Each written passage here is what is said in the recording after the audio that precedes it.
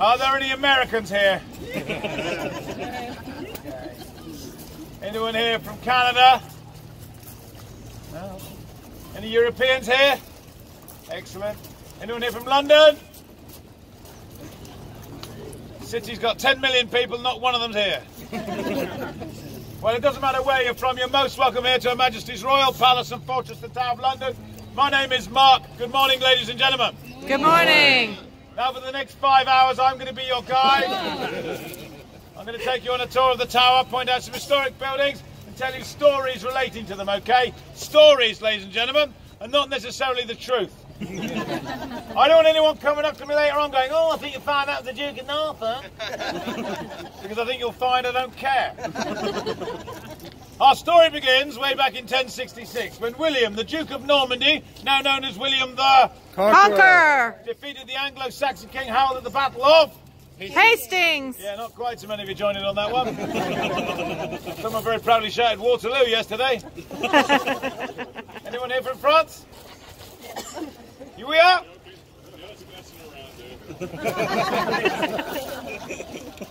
Get me my gun. William was crowned William I on Christmas Day of that year, but he had to continue to fight his Saxon subjects who did not take kindly to Norman domination. William was looking for somewhere to build a citadel to impress and dominate the citizens of London.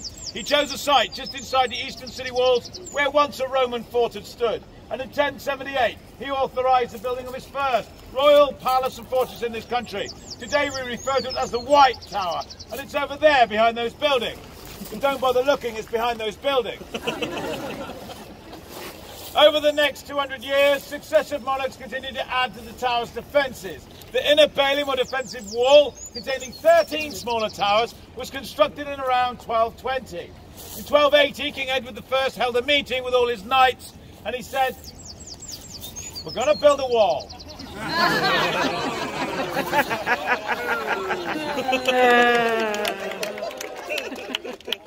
It's going to be great. we love our walls, great walls. And the Scots are going to pay for it. and they did.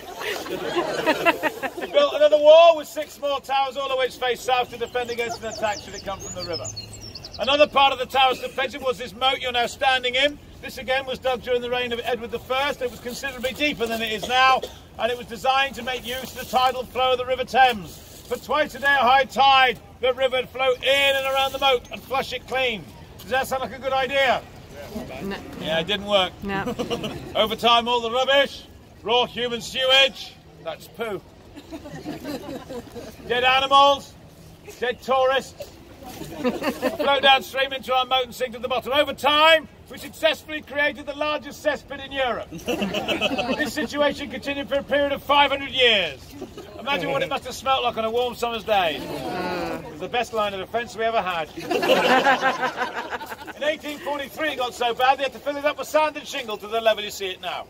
So, as I said earlier, this was the first royal palace and fortress of its kind to be built by the Normans in this country. But over the years, it's been employed in many other ways. For example, this is still the place where we keep safe the crown jewels and royal regalia and has been since 1303. This was the location of the Royal Mint, where all the coins of the British Empire were designed and produced until 1810. The British Empire. Yay! Britannia. Right. If you come from Australia, New Zealand, South Africa, Canada, Zimbabwe, quite a lot of Africa, Gibraltar, Malta, Cyprus, the Middle East, India, Pakistan, Sri Lanka, Bangladesh, Myanmar, Singapore, quite a lot of Indonesia, Malaysia, some parts of China, the Caribbean islands, the Falkland Islands, the Pitcairn Islands, the Cook Islands, quite a lot of islands, including the United Kingdom and Ireland. And at some point or other, you have been part of the British Empire. Therefore, I'd like you to join me in an enthusiastic and rousing huzzah! Huzzah! Huzzah! I'll teach you how to do it. Do it all properly, right start. Something like this. The British Empire, huzzah! Like that. Let's have a go, shall we? British Empire, Huzzah! very good, I'm mildly impressed. Let's hear the Americans have a go. Huzzah! Rubbish. By the way, you don't get to say huzzah. You made your choice. However, we have been getting on quite well recently, so I'm willing to give you guys a yeehaw. You can have a yeehaw. so let's try that again. Everyone who's not an American, British Empire! America! Yeehaw! There you go. Yeah, that's why you'll never have an empire. We used to have a prison here, a state prison, one of the most notorious prisons in history. There's the bars to prove it. Anyone from Australia? Welcome home.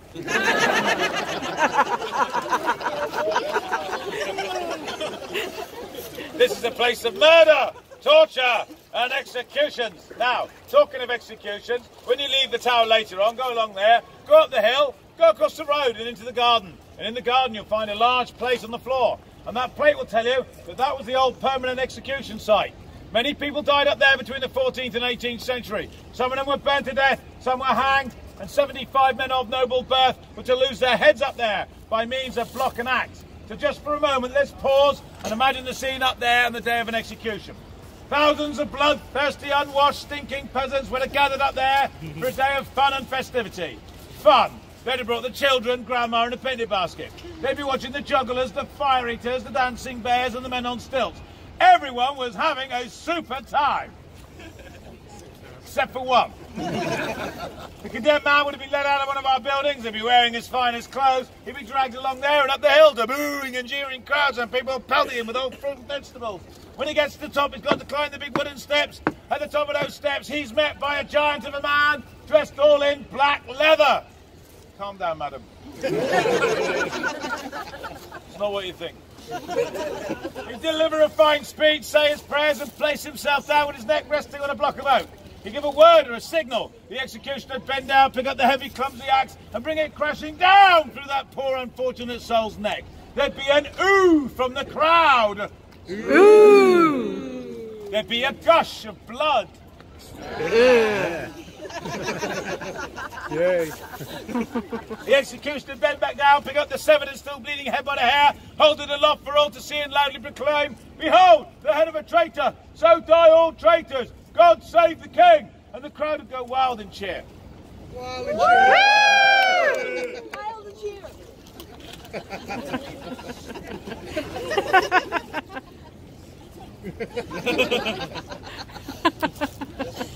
the crowd would go wild and cheer!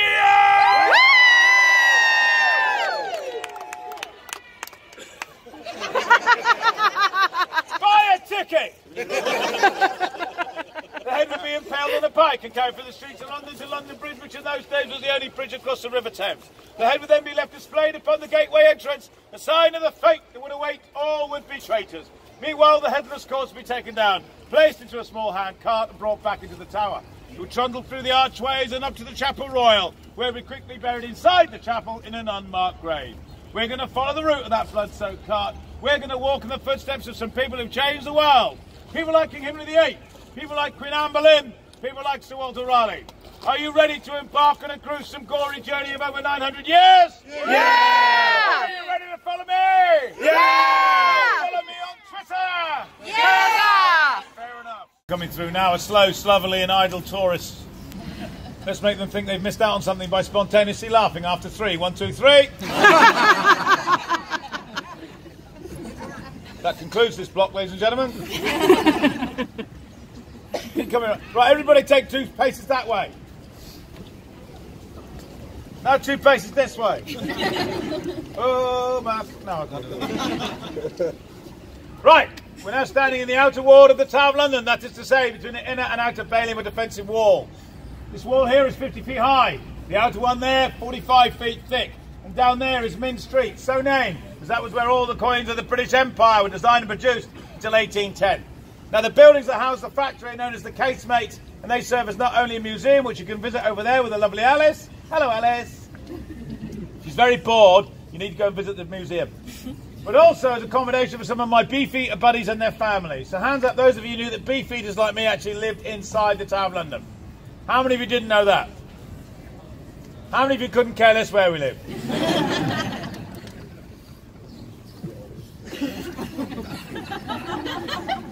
Where are you from?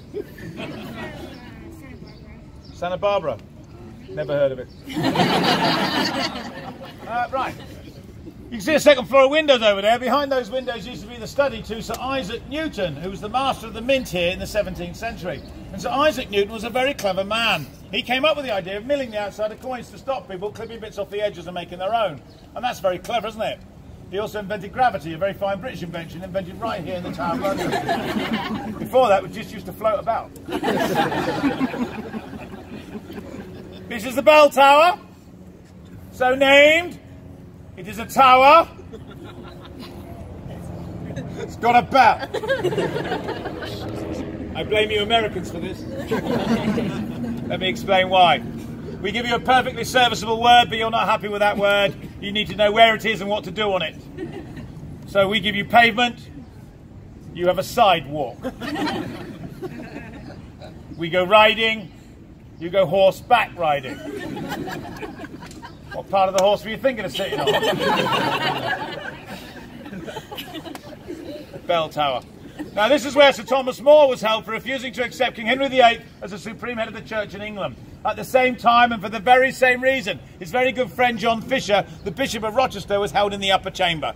Both men were to suffer terribly for about 15 months, but could not be persuaded to abandon their beliefs. Were finally led out of these chambers, through the gates and up the hill, where they were publicly beheaded as traitors in 1535.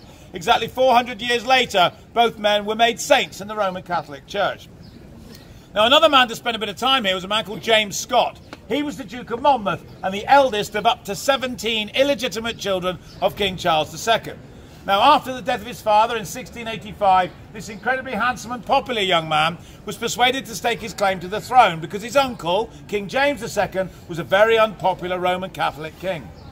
To press home his claim, James Scott landed in the west country of England and he marched inland gathering popular Protestant support in what is known as the Monmouth or Pitchfork Rebellion. That rebellion was crushed at the Battle of Sedgemoor on the 6th of July, 1685, but James Scott evaded capture by fleeing the battlefield. He hid in towns and villages for a few days, but was quickly caught and brought here to the Tower. There was no need for a trial as he was condemned to death in his absence, and three days later he was led out of here, through the gates and up the hill. But this time, instead of being pelted with fruit and vegetables like everybody else, all the ladies came and they threw flowers in his path as he walked up in silence. That's how incredibly handsome and popular he was. He looked like me. An inflatable version of William Shatner. you have no idea who that is. When he got to the top, he was met by the executioner, a man called Jack Ketch. I call him an executioner, but actually he was a part-time executioner. He was a local butcher and a full-time drinker.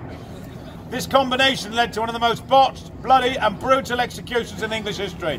Jack Ketch was not only drunk that day, we believe he even managed to bring the wrong type of axe to the execution. And he famously took eight strokes. The first one landed squarely in James Scott's left shoulder blade. The second one took the very top of his scalp off. The third one hit him in the right shoulder blade, and the fourth caught him in the lower lumbar region.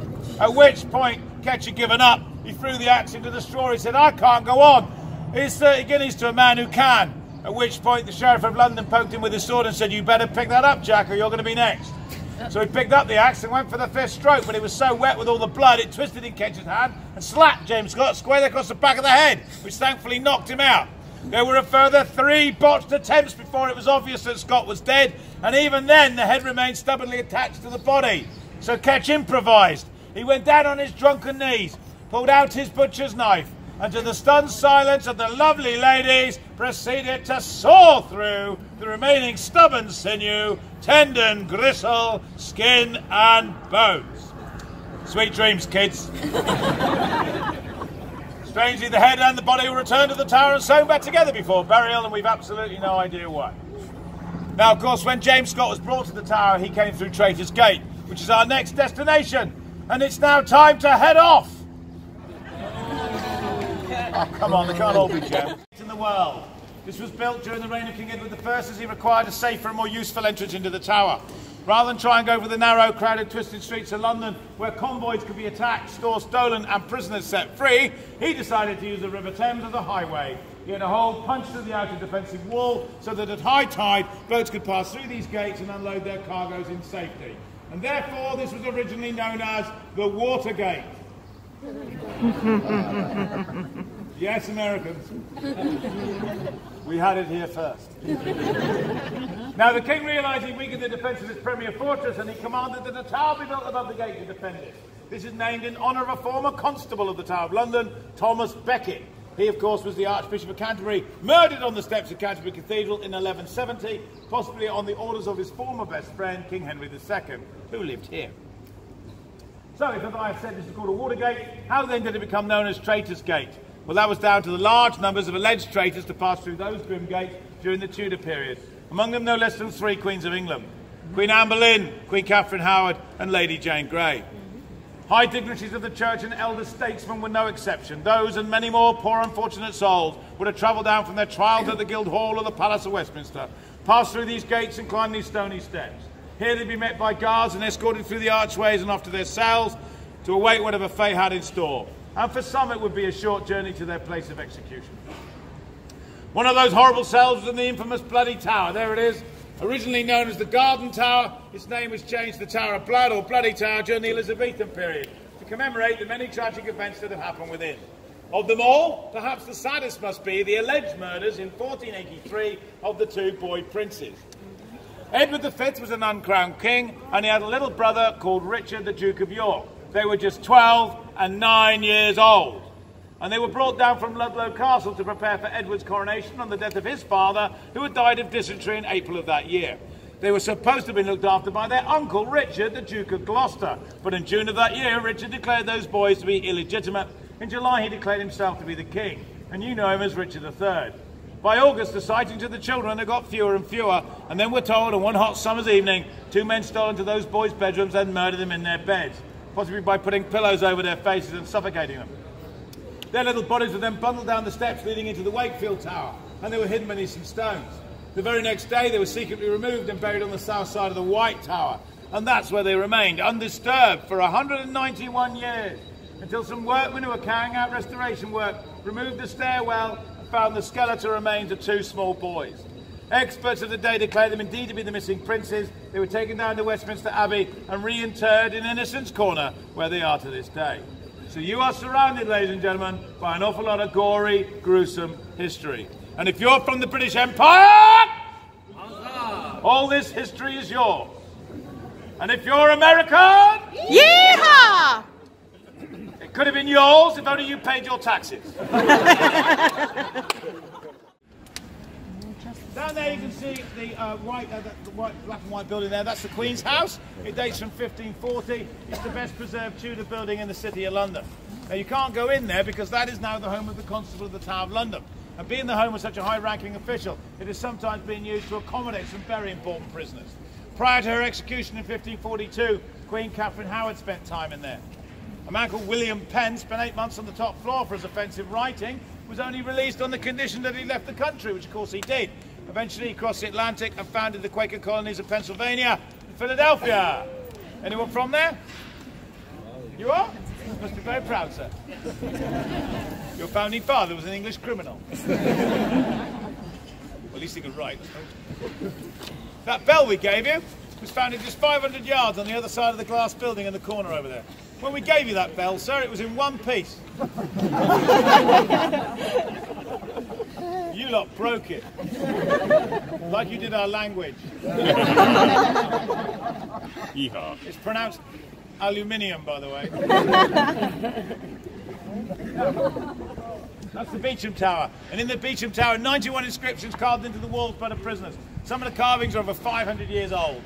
On this side, you see the Chapel Royal. We're going to go in there very shortly. And finally, the largest of all our buildings, that's the Waterloo Block. That's named after a 1974 ABBA hit.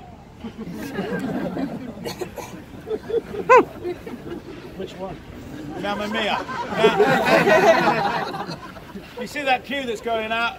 That's the queue to go and see the Crown Jewels and Royal Regalia. Right, we're going to go and see the Chapel Royal, folks. So, gentlemen, as we go in, please take your headdress off. Ladies, you can keep your headdress on if you want. Uh, on the way in, please turn your cameras off, any other phones, that sort of thing. We're not allowed to take pictures in there. And please don't have your phones ringing or texting people in there. It's just distracting. Uh, and also, there's no eating or drinking in there. Finally, ladies, be careful on the in because there is a small step, and that step is haunted. and it trips up wicked and sinful women.